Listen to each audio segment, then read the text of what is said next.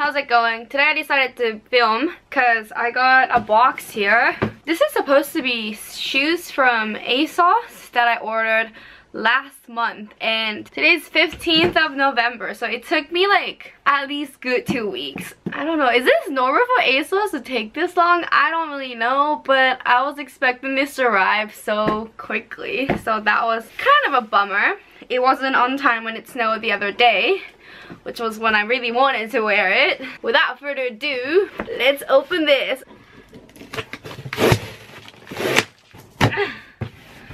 Okay. Oh my god. So it came in, it came in this big, big box right here. And then it turns out there's another box inside. ASOS.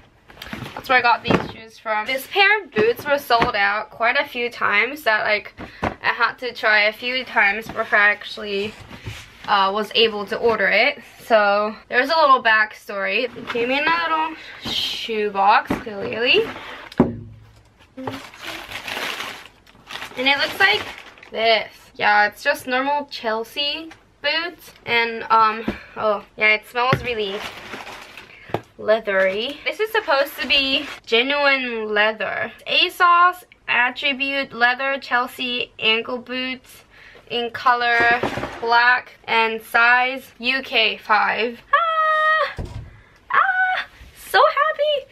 So happy! It's a little big, like lengthwise, but I have a really wide set of feet, so um, I normally have to get a size up when I go European shoes. So happy about this, it looks so good. And I don't know how much, I can't remember how much it was, but it wasn't too expensive for leather. Another collection to my black shoes, because it goes with everything. Oh, I have another news today, actually. I was at Aeon Mall just now, um, before dinner, and I was there for a job interview. Um, I was being interviewed to work at one of the cafe there, and I got the job, so I'm, a, I'm gonna be serving coffee and stuff, I guess. I mean, I've already waitressed before, so I guess it's not like that much of a new thing I'm doing. But, you know, money's tight for students, so gotta get to work, right? Right now, it's just after 6 o'clock and I have to tutor my friend at 7 at AAC. Um, it's like a Student Academic Achievement Center, that's what it stands for and I'm a tutor there so I work there as well and I get paid